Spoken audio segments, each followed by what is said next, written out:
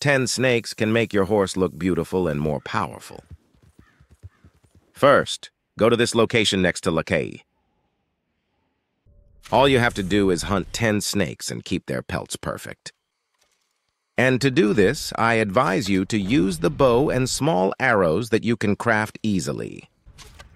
Make sure it is a headshot so as not to spoil the snake skins.